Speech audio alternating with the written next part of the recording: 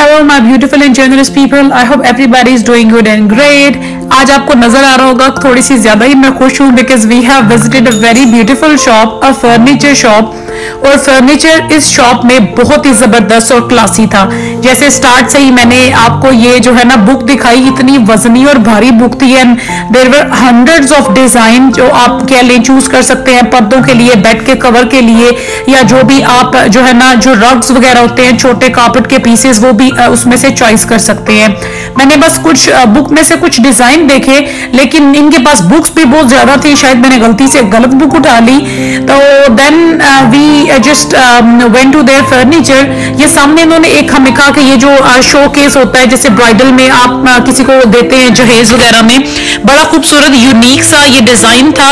और आजकल मोस्टली इस तरह के डिज़ाइन चल रहे हैं। बड़े इसके जो है ना, कह लें कि वास्ट से बड़े छोटे छोटे ड्रॉर बने हुए थे और बड़ा खूबसूरत बेड सेट के साथ था। ये इन्होंने एक सोफा सेट रखा हुआ था।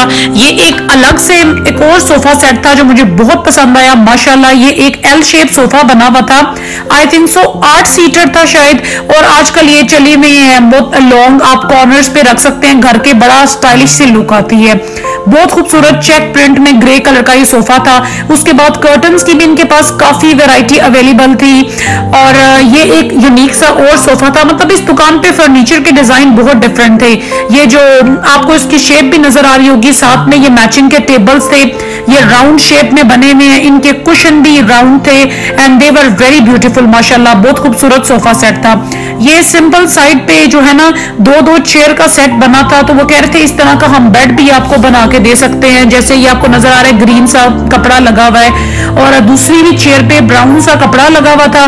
तो वो कह रहे थे कि इसके साथ हम आपको ना कबर्ड भी जो अलमारी है तैयार करके दे सकते हैं शोकेस वगैरह, या अगर आप बेड के पीछे भी ऐसा डिज़ाइन लगवाना चाहते हैं। But all in all the furniture was very beautiful इनके दो शोरूम शोरूम थे। पहले हमने एक शोरूम विज़िट किया, फिर हम लोगों ने दूसरा शोरूम देखा।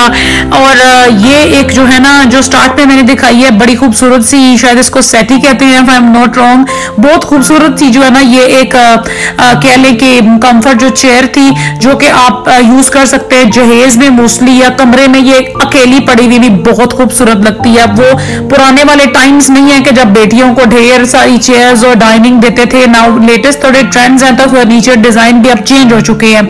ये लेदर सोफा था, जो कि कुछ सालों से ट्रेंडिंग में है but it's still it's in fashion still it's trending काफ़ी अच्छा रहता है डिज़ाइन वगैरह में, साफ़ सफ़ाई करने में, जिनके घर छोटे बच्चे हैं दे कैन टेक इट ठीक है? इतना मतलब कपड़े वगैरह का वो मसला नहीं है, काफ़ी साल ये चल जाता है। और साथ जो पर्दों के मैंने डिज़ाइन आपको दिखाए हैं, ये भी एक खूबसूरत सी सेटी थी तो वो कह रहे थे इसके साथ बेड वगैरह आप बनवा सकते हैं, आपकी चॉइस पे है। और अगर आप कपड़ा भी चेंज करवाना चाहें तो वो आपको मतलब चेंज चेंज कर देंगे। ये उन्होंने एक हाथ का जो काम होता है हाथ की कारीगरी उस से बेड पे थोड़ी डेकोरेशन की हुई थी और ये सब इनके डिज़ाइन अपने थे और इन्होंने ये नहीं है कि मतलब इंटरनेट से डिज़ाइन उठाए और जो है ना वो आपको कह रहे हैं कि हम बना देंगे। सब डिज़ाइन इनके अपने और बड़े डिफरेंट थे। ये दो इनकी अभी जो रेडी थी चेयर जा रही थी कस्टमर डिलीवरी के लिए बहुत खूबसूरत थी जो आ, एक मोटा सा स्टफ़ होता है आई फॉरगेट द नेम उसमें ये बनी हुई थी और बहुत प्यारी थी, माशाल्लाह। ये एक और वो सेम जो एल शेप सोफा होता है, आठ या नौ, पता नहीं कितने सीटर लेकिन चेक प्रिंट था और इसके कुशन भी बड़े खूबसूरत थे और माशाल्लाह बहुत प्यारा सोफा था, मेरा लिटरली इस पर दिल आ गया था। और ये वाला सोफा ब्लू वाला, अब आप कहेंगे कि सारे इसको इतने प्यारे लगे हैं, लेकिन ये ब्लू वाला सबसे ज़्यादा प्यारा लगा था। बड़ा एक कम्फी सा और जो है ना, बड़ा डेलिकेट सा डिज़ाइन था।